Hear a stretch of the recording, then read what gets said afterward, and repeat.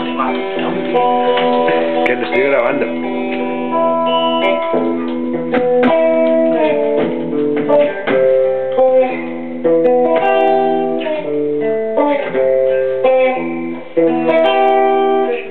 Pero si ya hay vídeos tuyos de los en YouTube, ¿qué más te da?